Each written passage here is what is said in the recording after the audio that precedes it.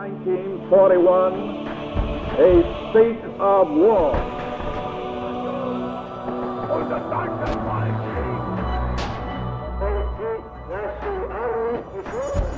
What General Weygand had called the Battle of France is over. The Battle of Britain is about to begin. We shall Fight on the beaches, we shall fight on the landing grounds, we shall fight in the fields and in the streets, shall in the hills.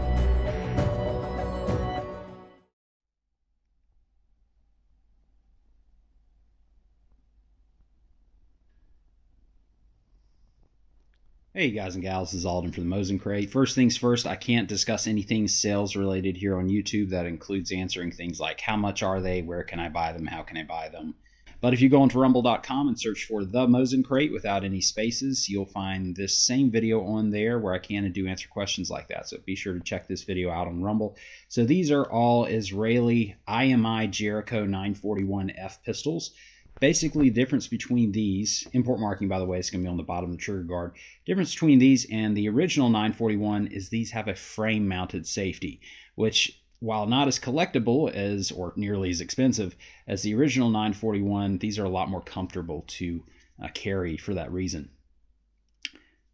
So these are 9mm double action and single action. Again the frame mounted safety is just a safety. It's not a decocker or anything like that. These have polygonal rifling, and a lot of them, as you'll notice, will have lanyard loops because these were probably Israeli military at one time or another. This one here is the worst one by far, I would say. I would still call this good surplus condition. In fact, this is pretty much standard condition for what I've seen these imported at over the years. But we're going to go through here and kind of look through them. Some of them are probably going to be closer to very good, but just to be on the safe side, conservative side, I'm just going to grade all of them as good.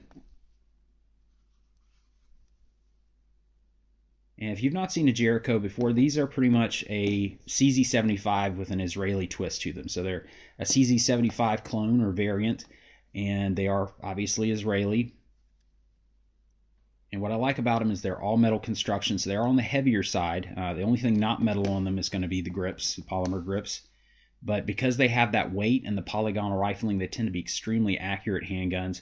And because they are a CZ75 clone or variant, whichever word you want to use, they also tend to have that CZ75 reliability too.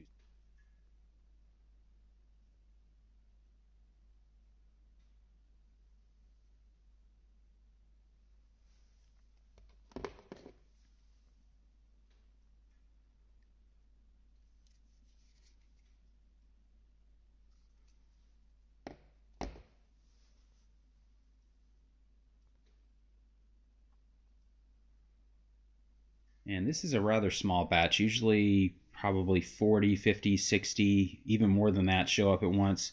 This imported lot, the condition was nicer, a little bit nicer than I'm used to seeing, but there really weren't that many in here. I think there's a total of 21 in all. This is another one has a little bit more finish wear to it.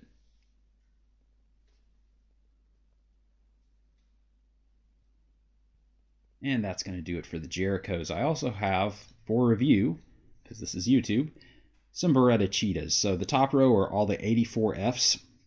I should go and tell you all the cheetahs that you're seeing in front of you here are in 380. Uh, this 84F here is one of the nicest ones I've seen imported. Uh, solid, excellent condition. There's just a little tiny bit of evidence of use here and there on it, mostly on the trigger guard. Now with the 84F, you're going to have single and double action and the safety functions as a decocker. And of course, it is an ambidextrous safety slash decocker. And the nice thing about these Italian Beretta Cheetahs is the triggers on them, or the uh, trigger pull is usually very smooth, both in single and double action. And they're just very high quality made pistols.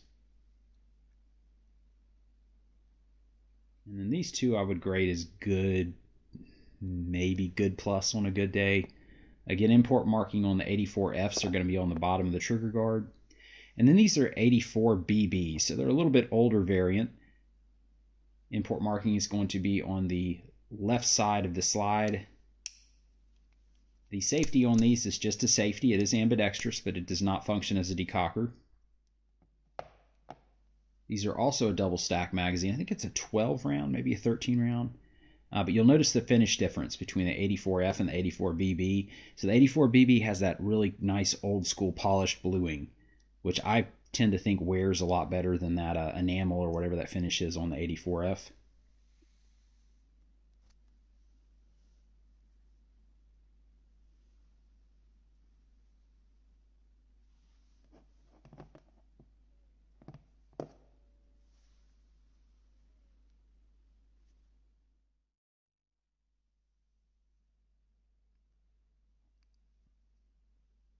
And I've got a lot more videos coming up over the next two or three weeks.